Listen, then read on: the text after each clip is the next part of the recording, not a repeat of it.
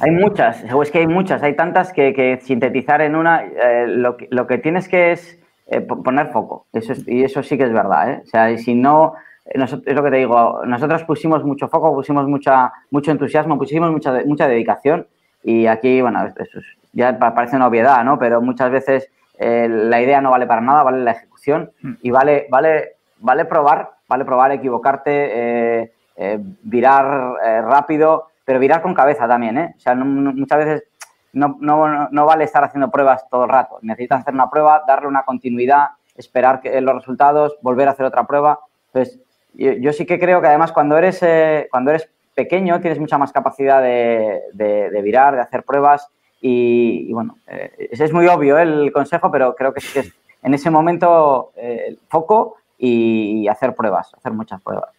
Buen consejo. Lo del foco aparte es complicado porque, claro, esta es una fase muy, muy inicial y seguro se te ocurren muchas ideas cada día. Entonces, el, decir, oye, dentro de todo el universo de posibilidades nos vamos a centrar, como hicisteis vosotros, ¿no? En vamos a generar contenido de calidad para esta parte de, de comparación con modelo de negocio de afiliación eh, si eres capaz de, no despistarte mucho, pues eh, puedes hacerlo como un side project. Si aborca 50 cosas, pues va a ser muy complicado. Mira, ayer escuchaba cuando iba corriendo el, programa que tuvisteis sobre el tema de la metodología de... Eh, de EOS, ¿no? y es una parte, yo lo estaba escuchando y me sentía un poco hasta incómodo. Porque es, una, es, una, es un detalle que genera incomodidad porque te estás cuestionando cada dos por tres cuál es tu foco.